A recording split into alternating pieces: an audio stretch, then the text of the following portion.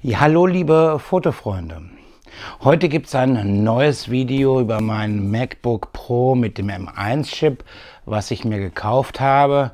Heute möchte ich darüber sprechen, für welche Konfiguration ich mich beim Kauf entschieden habe.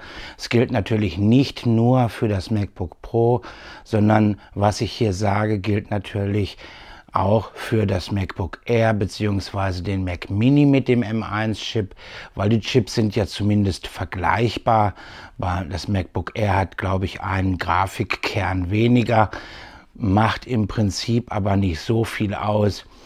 Also die Grundsätze äh, sind im Prinzip für alle drei Rechner dieselben und deswegen kann man das auch adaptieren, was ich hier über das MacBook Pro sage, auf die anderen beiden Rechner. Eins muss ich auch vorweg schicken. Ich bin kein IT-Experte, ich bin kein Fachmann, sondern ich bin, wie man so schön sagt, Laie. Hobbyanwender. Ich verbringe zwar relativ viel Zeit vom Computer, aber so das ganz tiefe Hintergrundwissen, das habe ich da nicht. Und deswegen sollte man bei mir auch nicht in diesem Video jedes Wort auf die Goldwaage legen. Ich rede hier über meine eigene Meinung, über meine Erfahrungen und ob das Ganze jetzt äh, technisch äh, wirklich alles immer im äh, richtigen Hintergrund steht, das kann ich hier nicht garantieren. Nur ich habe natürlich auch vor dem Kauf ein bisschen recherchiert, um mich dafür das richtige Produkt zu entscheiden. Ja, grundsätzlich gibt es zwei Stellschrauben, an denen man drehen kann bei der Konfiguration, nämlich einmal den Arbeitsspeicher. Da gibt es diese Rechner mit 8 GB und mit 16 GB. Und der zweite Punkt, den man konfigurieren kann, ist der Festplattenspeicherplatz. Da hat man die Wahl zwischen 256 GB in der Standardversion oder 512 GB oder 1 Terabyte beziehungsweise maximal 2 Terabyte. Ich habe mich ein bisschen vorher, wie gesagt, erkundigt und habe mich dann entschieden für die Variante mit 16 GB Arbeitsspeicher und 512 GB Festplattenkapazität. Und das ist so, sage ich mal, die Minimalkonfiguration, die ich persönlich empfehlen würde. Warum 16 GB und nicht 8 GB. Nun, ehrlich gesagt, 8 GB finde ich in der heutigen Zeit, auch wenn man berücksichtigt, dass dieser äh, Rechner sehr, sehr effizient mit Speicher offensichtlich umgeht, da finde ich 8 GB einfach zu wenig. Und wenn man dann überlegt, man möchte diesen Rechner wahrscheinlich einige Jahre weiterhin verwenden und die Anwendungen werden vermutlich noch anspruchsvoller in Zukunft. Thema Film, 4K wird nicht in nicht allzu langer Zukunft wahrscheinlich selbst auf YouTube zum neuen Standard werden. Das heißt, die Dateien werden größer. Bei den Fotos ist dasselbe zu sehen. Der Megapixel-Wahn bei den Kameras ist längst nicht gebrochen. Die Sony A7R4 mit 61 Megapixel. Ich habe jetzt gestern ein Video gesehen es ist halt schon ein bisschen älter gewesen, dass Olympus eventuell an einer Micro Four Thirds Kamera mit 40 Megapixeln arbeitet, äh, finde ich wahnsinnig. 40 Megapixel auf diesen relativ kleinen Sensor, zumindest für 40 Megapixel zu drücken. Ob ich das äh, wollte als User, lasse ich mal dahingestellt. Ist aber hier auch nicht das Thema. Ähm, also wir können davon ausgehen, dass die Anwendungen immer anspruchsvoller werden und deswegen finde ich hier 16 GB wirklich auch schon das Maß aller Dinge. Zumal man sich überlegen muss, also zumindest sag ich mal bei den besseren Computern war die früher so, die hatten eine sogenannte dedizierte Grafikkarte. Also jeder Rechner hat zum einen eine Onboard-Grafikkarte, bei Intel heißen die äh, hießen die, glaube ich, zuletzt Iris oder Bärbel oder so, keine Ahnung. Und ähm, diese ähm, Onboard-Grafikkarte, die hat sich auch, die hatte keinen eigenen Arbeitsspeicher, sondern hat sich praktisch am Arbeitsspeicher des Systems bedient. Aber die besseren Computer hatten darüber hinaus eben noch eine extra Grafikkarte, in der Regel entweder von AMD oder von Nvidia. Und diese externen, nicht extern, auch eine interne Grafikkarte, sorry, aber diese zusätzlichen Grafikkarten, so muss es richtig heißen, die auch im Rechner verbaut waren, die hatten eben nochmal eigenen Arbeitsspeicher, an den kam auch das System sonst nicht dran, sondern auch die, diesen Arbeitsspeicher konnte nur die Grafikkarte selber benutzen. Das heißt, wenn die Grafikkarte Spei Arbeitsspeicher brauchte, hat sie sich erstmal bei dem eigenen Arbeitsspeicher bedient und hat damit natürlich auch nichts von dem Arbeitsspeicher weggenommen, den der Rechner hatte.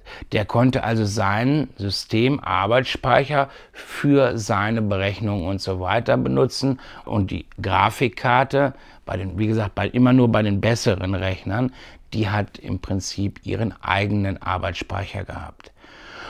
Und das ist jetzt bei diesen M1-Chips, die im Moment auf dem Markt sind, eben nicht so. Da haben wir zwar auch sieben beziehungsweise acht Grafikkerne, je nach Modell, einen eigenen Arbeitsspeicher haben die aber nicht, sondern die greifen eben auf den Arbeitsspeicher des gesamten Systems zu, also entweder auf die 8 bzw. 16 Gigabyte.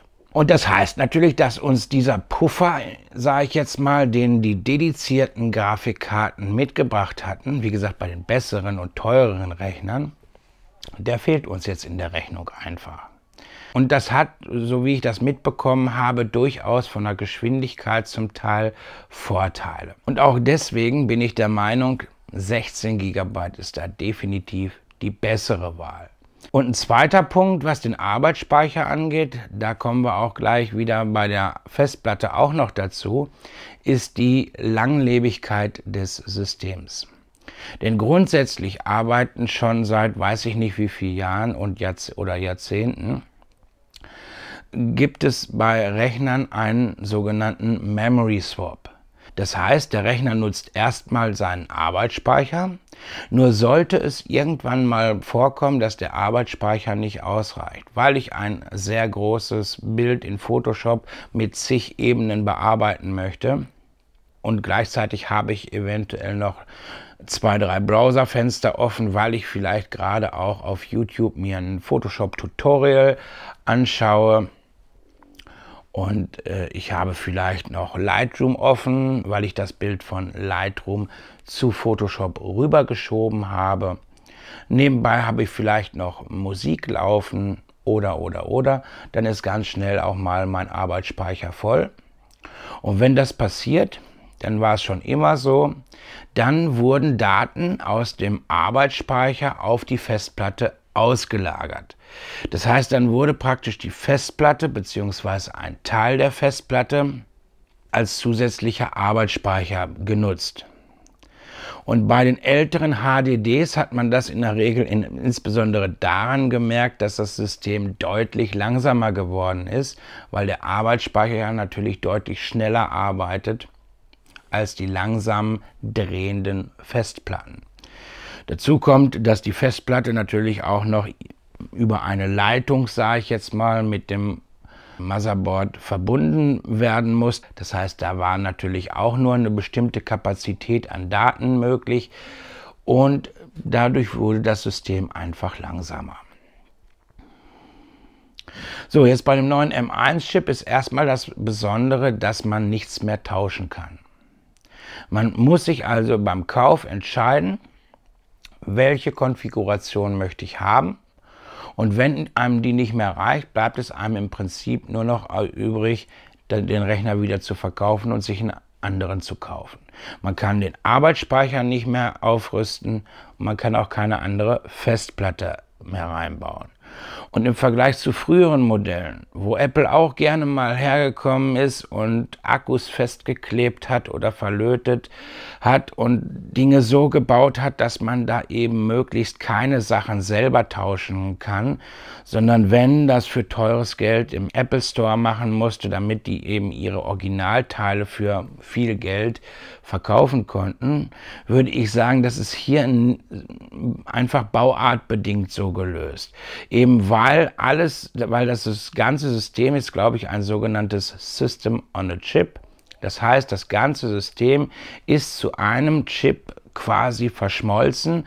Auf diesem Chip sind dann als Bestandteile der Arbeitsspeicher und die Festplatte, nur die sind so eng, sage ich jetzt mal, verschmolzen, jetzt nicht im physikalischen Sinne, sondern mehr so als Wortbild, dass das wirklich sehr smooth, sage ich mal, zusammenarbeitet. Das heißt, die Übertragungsgeschwindigkeiten sind deutlich höher, soweit ich das mitbekommen habe, als bei den üblichen Motherboards.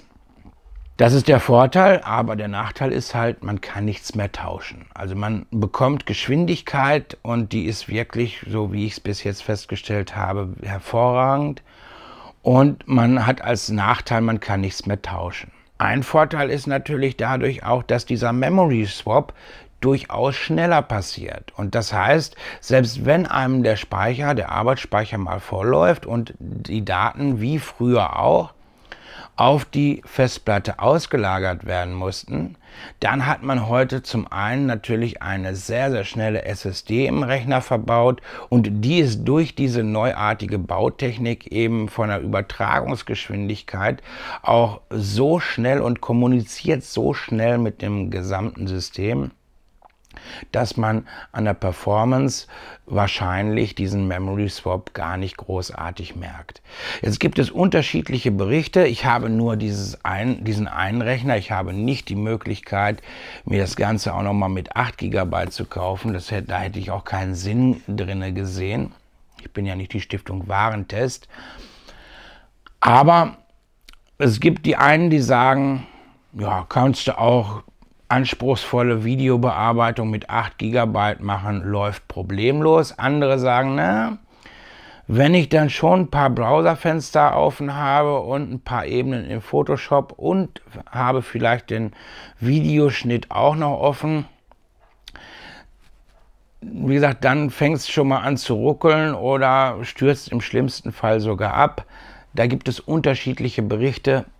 Ich weiß es nicht. Was da stimmt, nur, es gibt noch einen anderen Punkt, den ich berücksichtigen würde, und zwar bei dem Memory Swap werden ja Daten ausgelagert von dem Arbeitsspeicher auf die Festplatte. Dieses System, wie gesagt, stammt eigentlich ursprünglich von den HDDs, die damit auch gut umgehen könnten. Nur der Arbeitsspeicher ist ja eigentlich ein Speicher, wo wirklich nur kurzzeitig Daten gespeichert werden. Und das heißt, wenn jetzt so ein Memory Swap äh, passiert, weil ich beispielsweise einfach zu wenig Arbeitsspeicher in meinem System drin habe und die, die, das System schreibt ständig kleine Dat Daten auf die SSD drauf und löscht sie dann wieder und schreibt wieder neue Daten drauf und so weiter, dann ist das nicht unbedingt der Anwendungsfall, für den SSDs ursprünglich gedacht sind. Und dann könnte dadurch die Lebensdauer der SSD leiden, das heißt, die geht schneller kaputt. Ja, und da ich sie nicht tauschen kann, weil das ganze System ein Chip ist, ist dann im Prinzip mein ganzer Rechner kaputt. Weil die ganze Einheit zu tauschen, sprich Prozessor, Arbeitsspeicher und SSD, das wird dann äh, eine sehr teure Reparatur, da gehe ich mal von aus. Und das wird sich dann wahrscheinlich kaum lohnen. Und wenn, dann wird man trotzdem etliche hundert Euro los sein. Also das möchte man möglichst vermeiden oder beziehungsweise so lange wie möglich herausschieben. Und da macht es dann eben Sinn, möglichst diesen Memory Swap zu verhindern. Und wie kann man das verhindern? Zum einen, indem man eben möglichst nicht, wer weiß, wie viele Programme oder Browserfenster gleichzeitig offen hält. Und zum zweiten, indem man einfach genug Arbeitsspeicher vorhält, deshalb eben in meinem Fall ganz klar die 16 GB Variante, die ich dementsprechend empfehlen würde.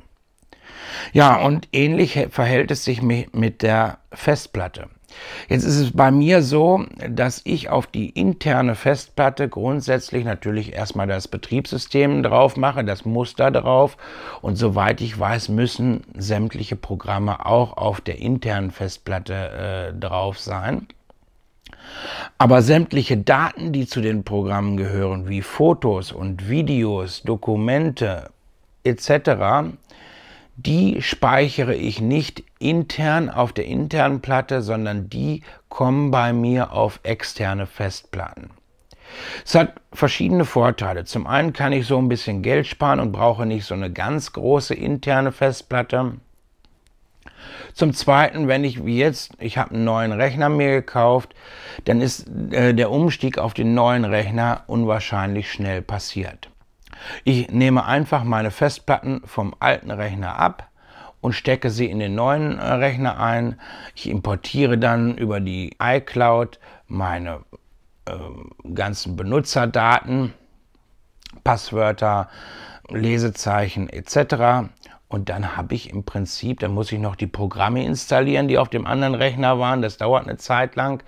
Aber dann ist das alles fertig. Also ich brauche nicht noch, wer weiß wie lange, irgendwelche Daten importieren wie Bilder und Videos. Diese Daten liegen auf externen Festplatten und damit habe ich den Switch praktisch schnell erledigt. Außerdem, wenn mir den Rechner dann irgendwann mal einer klaut, ja gut, wenn er bei mir hier zu Hause einbricht, dann wird er die Festplatten wahrscheinlich gleich mitnehmen. Selbst dann habe ich allerdings von den Daten noch an einem anderen Ort eine Sicherung. Nur so hat er erstmal auf dem Rechner selber gar keine wichtigen, relevanten Daten. Gut, äh, sicherheitsrelevant sind die Passwörter und so weiter natürlich schon und eventuell der Browserverlauf. Jetzt bin ich nicht verheiratet, von daher ist es vielleicht nicht ganz so brisant. Dafür vielleicht ein bisschen interessanter als bei Verheirateten, keine Ahnung.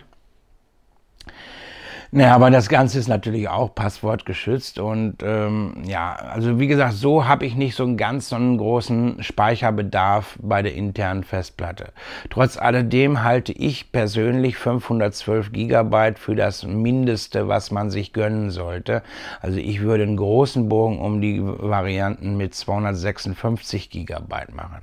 Auch das wieder meine ganz persönliche Meinung. Ich sage euch aber auch warum. Und zwar auch wieder in erster Linie da, deshalb, weil ich möchte, dass die Festplatte so lange wie möglich hält. Ich habe euch ja erzählt, auf meinem Rechner habe ich nur das Betriebssystem und Programme. Es sind bei mir durchaus einige Programme, aber mehr nicht.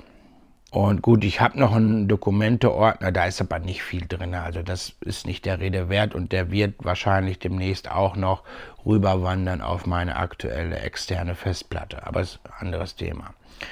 Im Moment sind bei mir auf dem Rechner nicht ganz 200 GB belegt und gut etwas mehr als 300 GB habe ich noch frei. Das heißt, jetzt könnte man sagen, na, dann hätte doch die kleinere Festplatte mit 256 GB äh, gereicht, dann hättest du jetzt immer noch nicht ganz knapp, knappe 60, 5, sagen wir mal 50 GB hättest du jetzt noch frei.